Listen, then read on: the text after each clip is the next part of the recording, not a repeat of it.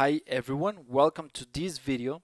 We are going to develop today the exercises 7 to 13 of chapter 21. This is the, the chapter, the theory of consumer choice.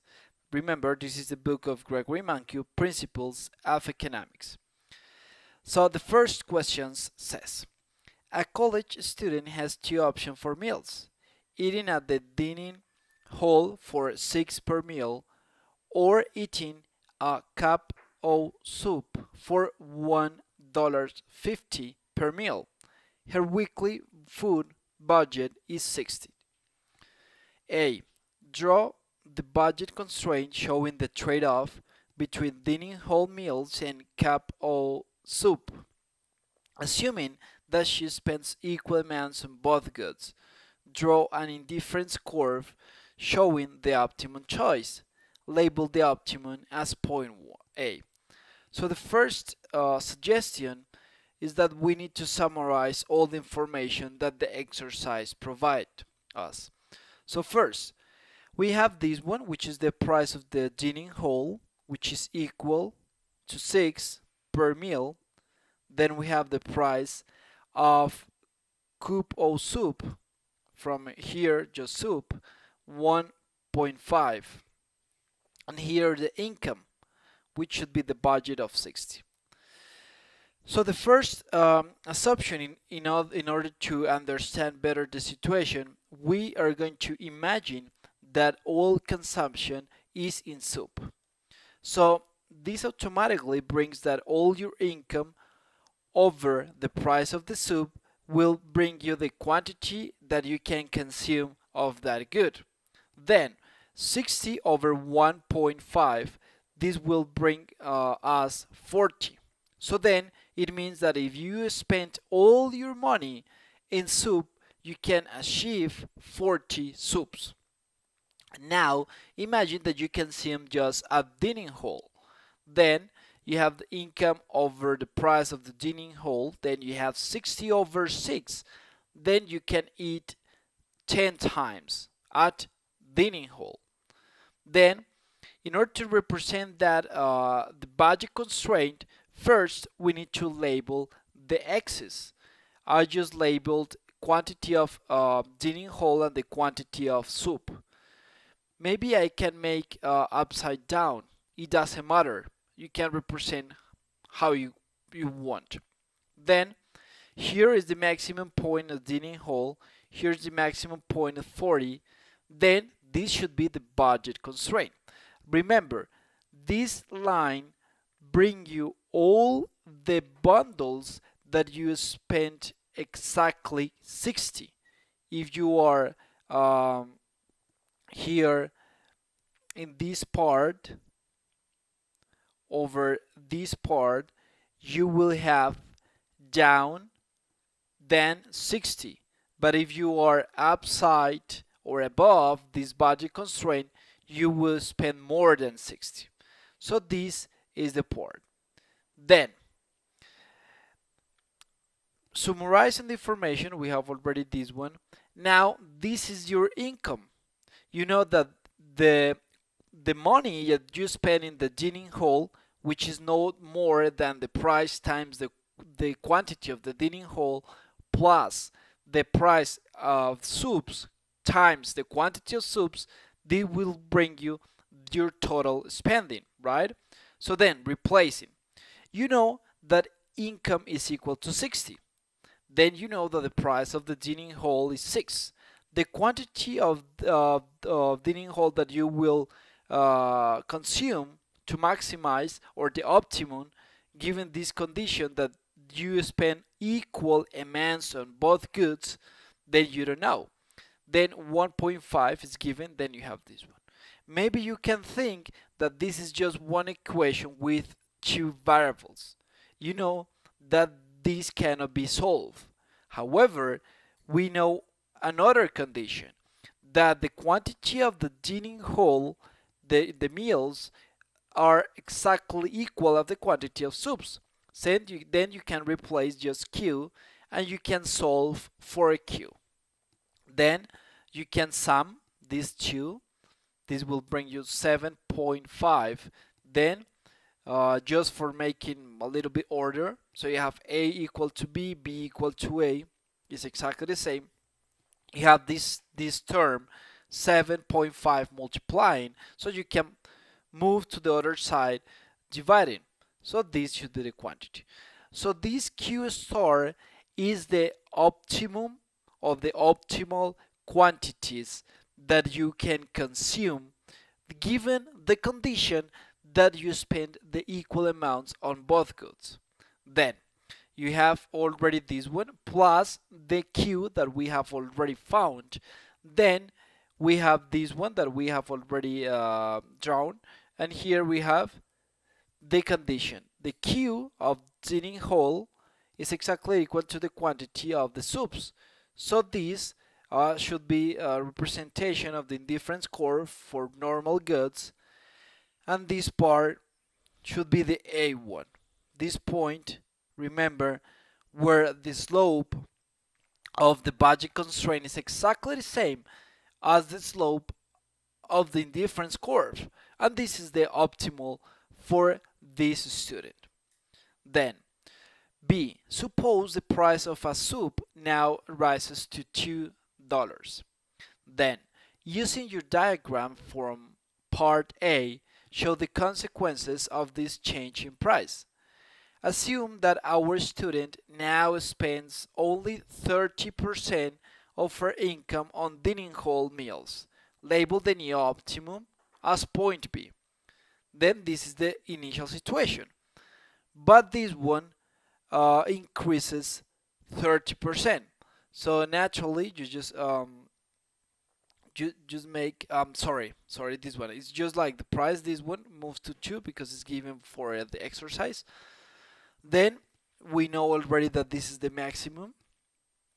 Now imagine that uh, the spending on dining hall now spends only 30% of her income.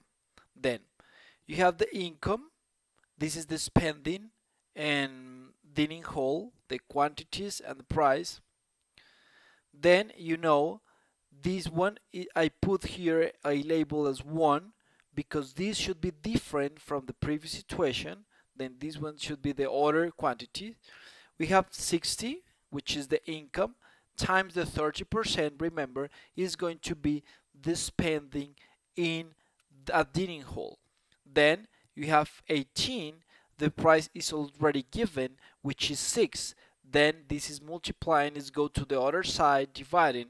Then the optimal quantity for dining hall should be 3 then we know already that this is 60 because we already have we have already 6 we have already 3 because we, al we already uh, found the price the new price is this one 1 so they should be this one 2 with that information, we can automatically find the quantity of soups in the second situation with a higher price of consumer of the soup and with um, this uh, fixed uh, spending in dining hall. Then we have 6 times 3, 18. Then this is uh, 18 is positive, go it goes to the other side is negative. Then we have uh, 60 over minus 18 so we have 32 we just move this one to this and this to this. It doesn't change anything just for making the the variable in the left side for order. Then we make this 2 which is multiplying it goes to the other side dividing then we found that the quantity for uh, the situation the other situation uh, is 16 and in order to prove that this result, this makes sense, I propose that we can make this equation and we can replace all and the results should be 60 because this is the, this is the budget. So then we have 6 times 3, then we have 2 times 16, then we end with the income of 60. So that should be okay. Then we are going to represent that in our graph. Here is the situation that we already found. Then we have the first situation, which is this one. We already knew that this was the optimal and the first part, and then this is the movement of the budget constraint. Why? Because the price of the dining hall it doesn't change. So then if you consume or you devote, devote all your budget to consumption for dining hall, you will finish with the same quantity. Otherwise, as the situation of the soup, because the soup increased the price from 1.5 to 2, so then now you need to divide all your income 60 not not over 1.5 but over 2 then you can just consume 30 soups instead of 40 due to the increase of the price. Then this is the second situation where the quantity of, of soups is equal to 16 and the quantity of dining hall is equal to 3. Then what happened to the quantity of cup, uh, cups of soup consumed as a result of this price change? What does the result say about the income and substitution effects? Explain. So then, this is the situation that we found previously. Then, we know that the first situation, it was 8 and the other one was 3 for dining hall. So it was a decrease for the dining hall, right?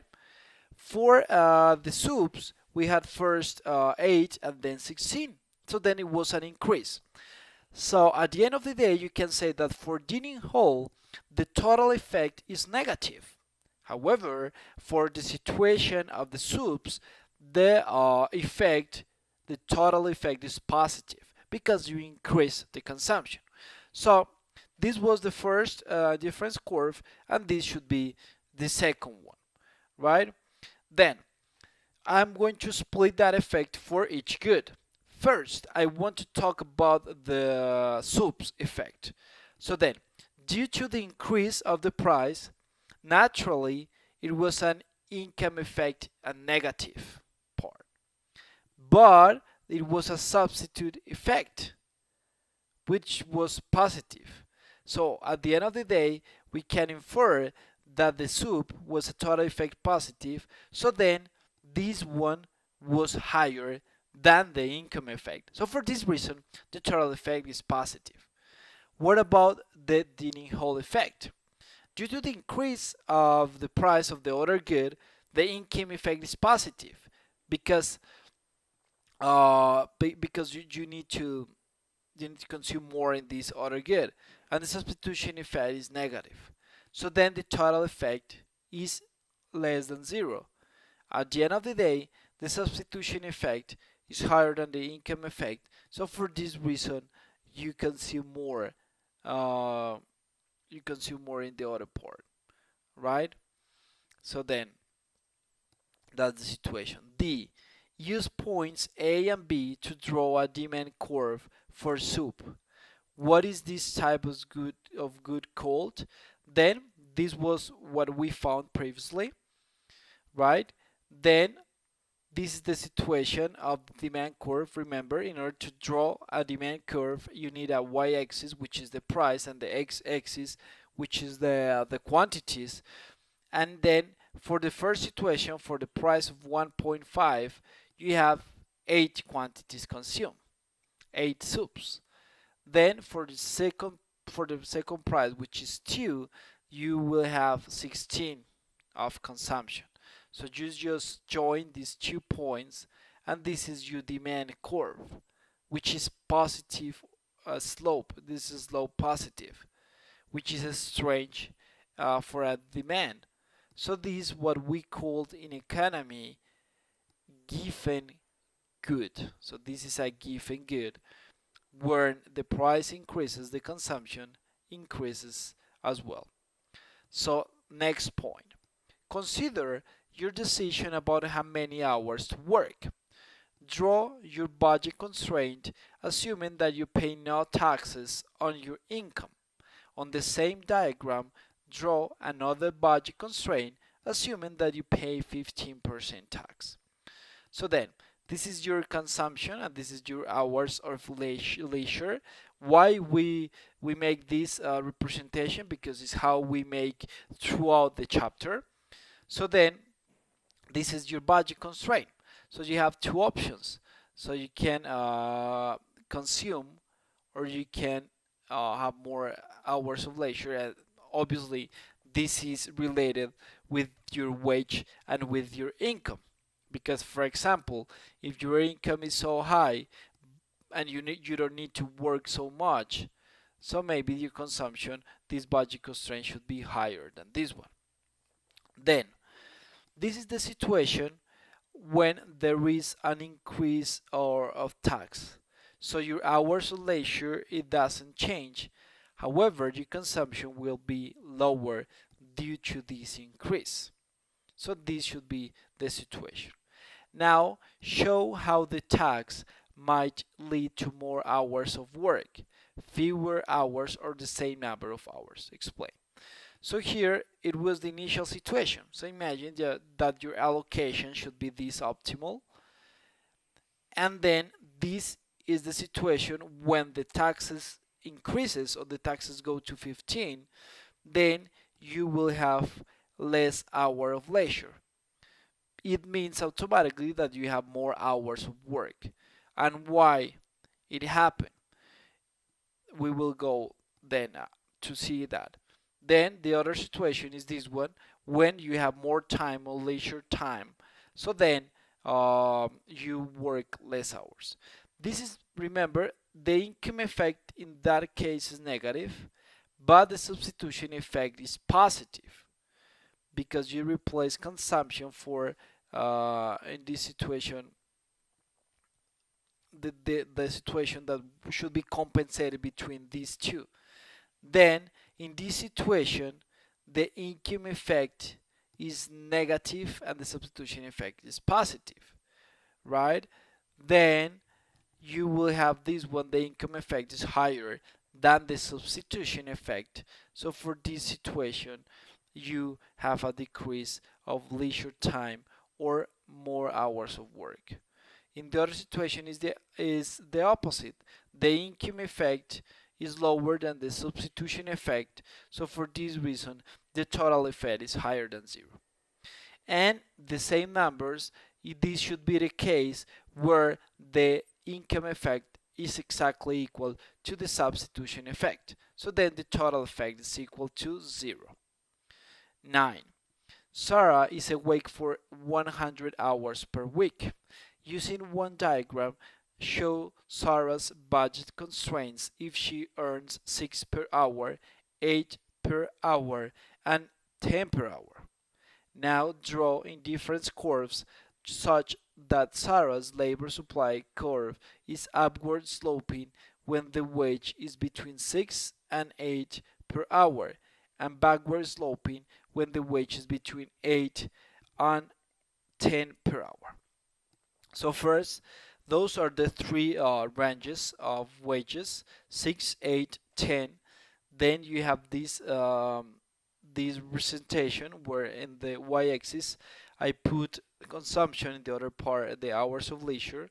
Then and the maximum consumption if you work all these one hour 100 hours then you will have 600 the other one should be this should be the situation when this one these are uh, those are the hours of leisure and the other one should be 800 which should be 8 times 1 uh, 100 hours then the other one should be 1000 so naturally when your wage increases your budget constraint gets cheaper but you can achieve more consumption then the other part says we already have this situation. Then this is the the situation where first you have these hours of leisure.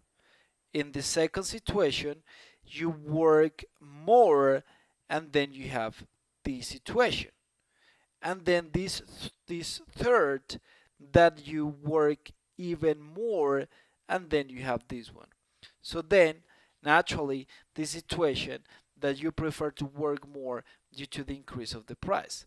Then if you can make the labor supply should be between the price of the salary, which should be the wage, and then L that are the hour supply. So for the first situation, you have six uh, for the wages uh, of six. You offer or you supply this quantity. For the eight is higher than six, and for ten higher than eight. So then, this uh, the situation where it's up upward sloping. Then the other situation is when we have this one, but on the other side, instead of working more, you start to work less. Then you have more leisure time. So then for the price of 6, you have this this hour supply. Then for 8, less than 8, than 8, less than 6. And for 10, less than 8. Then this is the other situation. And the last one is like you exactly, uh, I'm sorry, this one, the, the other question says, draw the indifference curve for someone deciding how to allocate time between work and leisure. Suppose the wage increases. Is it possible that the person's consumption would fall? Is it plausible? Discuss. So the hint is think about income and substitution effect. So here is the situation where the wage increases. So naturally you have like more your budget constraint move in this in the y-axis and it gets cheaper and then this is the situation where you um, consumption fall and why then uh, this could be the case that person consume less if this person uh, naturally work less right? And this person has more time then the for the income effect is positive because this person is richer but for the substitution effect this person prefers more leisure. So then at the end of the day in terms of consumption the substitution effect is higher in absolute value than the income effect so then the total effect for consumption is negative is less than zero then consider a couple's decision about how many children to have Assume that over a lifetime of a couple has 200,000 hours of time to either work or raise children. The wage is $10 per hour. Raising a child takes 20,000 hours of time. Draw the budget constraint showing the trade-off between lifetime consumption and the number of children. Ignore ignore the fact that children come only in whole numbers. Show indifference curves and uh, optimum choice. So then, the wage is equal to 10 and imagine that you devote all time in work. So then all consumption uh, at, uh, at that time should be equal to the hours times the wage. Then you have as hours available, you have 200,000 and the wage is equal to 10 so naturally you can uh, consume 2 million right so then imagine that you have all in children uh, this one this should be consumption in millions should be 2 millions if you make all uh, all you devote working. And the other situation in, in children. So you have 200 uh, 200,000 uh, which is the, the hours available over the time that are demanded by children 20,000 then you will have 20 then this should be the other part so then should be the maximum numbers of children if you devote all time for children and this one all time for working then suppose the wage increases to 12 per hour show how the budget constraint shifts using income and substitution effects. Discuss the impact of the change on the number of children and lifetime consumption. So here is the change from 10 to, to 12 and here is the, um, the situation. So here now instead of 10 you have 12 so naturally you have, have more more uh, consumption. So for 2 to 2.4 then then this should be the budget constraint. It increases naturally. Then the situation should be the next. This one was the first and this one uh, is the other one is the other indifference curve. Then here is the situation when you increase the um, raising more children. Then this is the first situation. So obviously you have an income effect because due to higher salary couple are richer so consume more. So income effect is higher than zero and this is the substitution effect. Due to higher salary couple can raise easier children so for this reason substitution effect. The situation interpreting that way should be higher than zero. So total effect um, total effect is, is, is positive. Or you can think that the substitution effect is lower than zero but at the end of the day the income effect is higher than substitution effect. So at the end of the day total effect is higher than zero or the other situation is that you raise few children. Due to higher salary couple are richer you consume more and due to higher salary they prefer use time for work instead of raising children. But this uh, this situation is substitution effect is higher than is lower than zero and the substitution effect is higher than the income effect. So for this situation the total effect is negative. So we observe that as societies get richer and wages wages rise, people typically have fewer children. Is this fact consistent with this model explained? Yes.